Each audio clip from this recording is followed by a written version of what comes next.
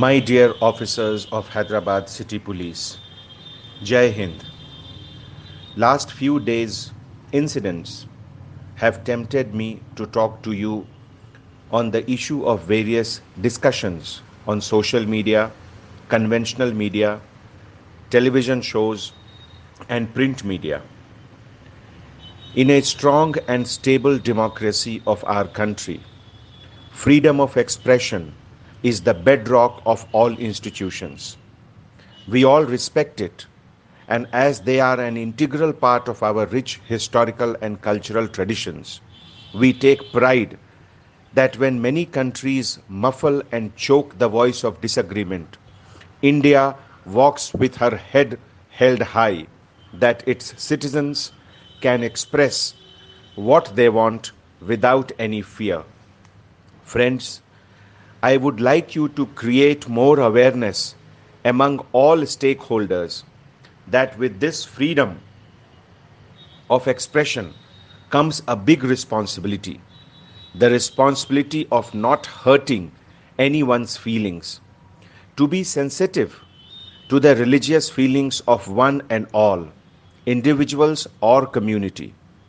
We cannot allow a law and order situation causing in the city causing inconvenience to common citizen or any damage to private or public property just because few individuals have spoken or expressed something and have hurt the feelings of others.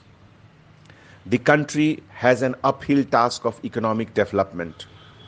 We all have to work hard like a disciplined soldier to attain greater glory for our country so that our next generation feels happy about us. We have to ha- hand over a better city, a better state, and a better country to the next generation, to our children. Can we afford to lose our precious time, our vital energy, or government resources in firefighting over these issues?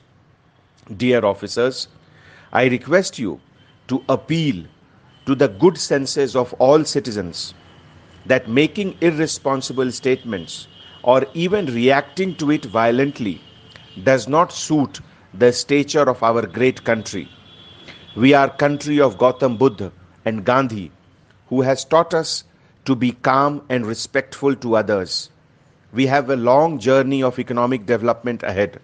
Let us not digress from it, and let us not hurt our brothers and sisters by our careless words or reactionary deeds.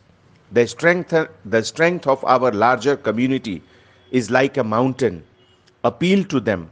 Community is our strength, and we wish to achieve every desirable goal with their support. Thank you so much. Best wishes from Anjani Kumar, Commissioner of Police, Hyderabad.